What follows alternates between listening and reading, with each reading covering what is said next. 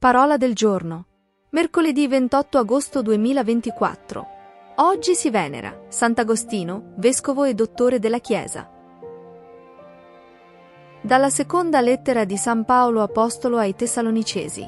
Fratelli, nel nome del Signore nostro Gesù Cristo, vi raccomandiamo di tenervi lontani da ogni fratello che conduce una vita disordinata, non secondo l'insegnamento che vi è stato trasmesso da noi. Sapete in che modo dovete prenderci a modello.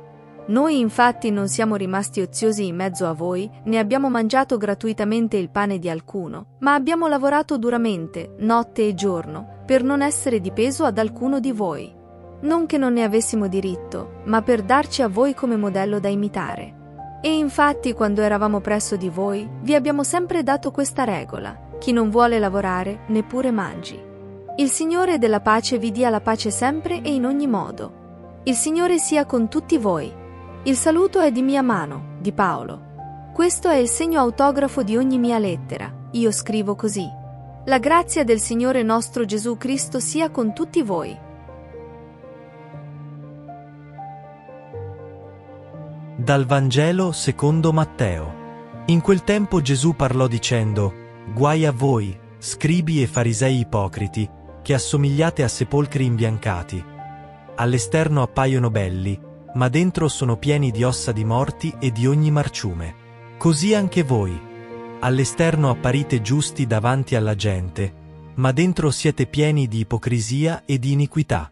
Guai a voi, scribi e farisei ipocriti, che costruite le tombe dei profeti e adornate i sepolcri dei giusti, e dite, se fossimo vissuti al tempo dei nostri padri, non saremmo stati loro complici nel versare il sangue dei profeti. Così testimoniate, contro voi stessi, di essere figli di chi uccise i profeti. Ebbene, voi colmate la misura dei vostri padri.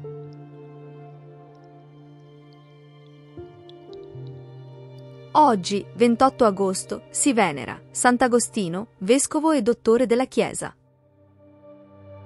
Preghiera a Sant'Agostino, o grande luminare della Chiesa, glorioso Sant'Agostino, per quella fervorosa riconoscenza onde, appena convertito, vi deste a studiare la divina legge ed a eccitare l'amore con gli ammirabili trattati dell'anima, per quell'ardentissimo zelo vi applicaste a confutare e a convertire ogni sorta d'eretici.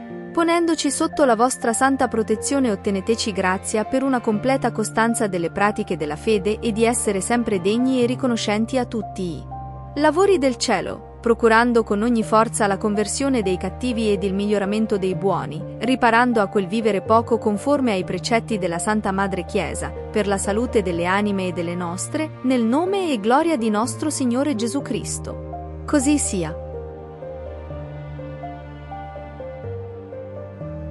Sant'Agostino. Sant'Agostino, conosciuto anche come Agostino di Ippona, è uno dei padri della Chiesa più significativi e un punto di riferimento per la teologia cristiana.